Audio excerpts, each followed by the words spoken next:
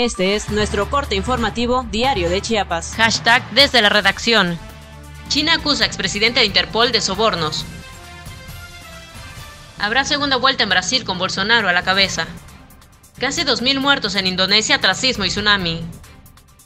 López Obrador dará a conocer detalles sobre consulta del nuevo Aeropuerto Internacional de México. Aún no hay detenidos por venta del listado nominal, FEPADE. Admiten recurso del MIGIS para que siga búsqueda de los 43. Ni un asesinado más en Chiapas, Jerónima Toledo. Presenta Chiapa de Corso ante proyectos como Pueblo Mágico. Padres de familia del Jardín de Niños toman la 11 poniente a la altura del Libramiento Sur. Individuo empuja anciano a vías del metro.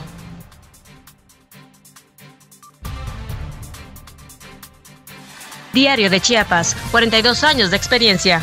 Síguenos en nuestras redes sociales.